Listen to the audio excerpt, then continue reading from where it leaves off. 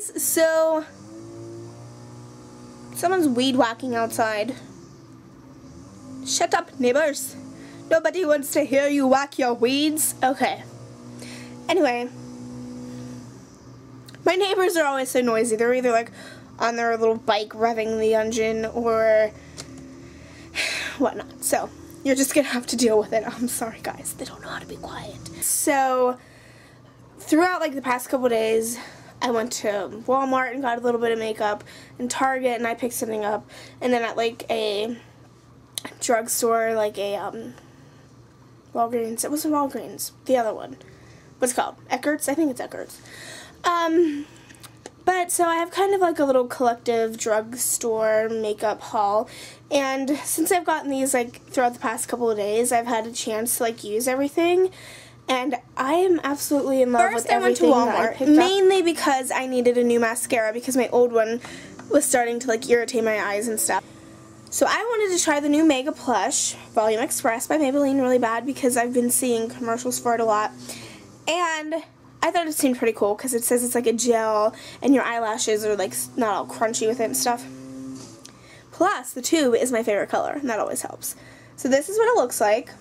Mega Plush. And first time I used this, I wasn't so sure about it. I was like, um, I don't know if I'm digging this or not. But this is what the brush looks like. I love the brush. And it's got like this thing where it like bends, you know. And the brush I love. I love big full brushes and I just like the way it makes my eyelashes look. But I wasn't so sure about the formula, but after using it for a couple days, I have fallen in love with it. And yes, this is becoming a favorite, I think. And I wanted to try the Glamouflage, which cute name by the way, right guys? So cute. And this, I wanted to try this because a lot of people said it's just like the Kat Von D one, and I love Kat Von D makeup.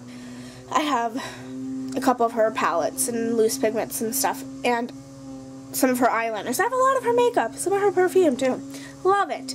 So I really wanted to try this because this is only like $6. First time I used it, I fell in love with it, and I'll put a little dot in my hand so you can see what it looks like. I got it in medium since it's summer and I'm like not so pale right now. So come winter, this probably won't be the right color for me. But there it is, and it um, it blends very well. It's very creamy. My hand is paler than my face though. But um, I just really like the way this works. Now I have like a tan patch on my hand. Um, it blends, I already said that. It's just really creamy and nice, and I really like it. So, this is about $6, and if you guys want to try the Kat Von D one, you might as well just try this, because it's amazing. And it came with, like, a little, um, pencil one, too. Yeah! And then I wanted to get a foundation that was kind of more, like, moisturizing and, like, protects you from the sun and stuff. So I got the Almay Smart Shade in light to medium and it has SPF 15 in it. So I really like this. And those are the three things I got at Walmart. Amazing. It's like Chainsaw Massacre out there. Next I went to the drugstore. And um a while ago, Sephora came out with like magnetic nail polish, and I really, really wanted to try it, but it was like $17 for a bottle, and I'm like, I'm not spending practically $20 on a bottle of nail polish. But now, Sally Hansen came out with it. Look how cute my nails look. And this, I got it for like $10. And this is a little magnet part that comes off, and you paint your nails, and then you, you know, you do the whole little magnetic thing and it makes them look like that. So amazing. I'm in love with it. Um, I paid about $10 for mine, and then I went to Target later that night, and theirs was a little cheaper there.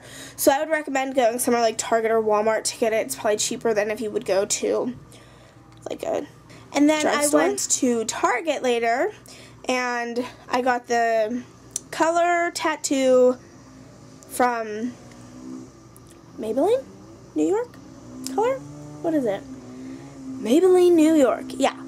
And I got it in painted purple. And this is so pretty. I really love this.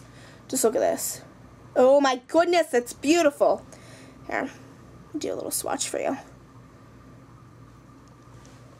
Look how pretty. So thank you for watching my video, and I apologize again for the weed whacker in the background. But, you know, what can I say? I have noisy neighbors. But you gotta love them. That's the way life works. So, um, if you guys would like a better, like a more in-depth review about any of the products that I showed, just let me know and I would love to do that. Alright, so I will talk to you guys later. Bye.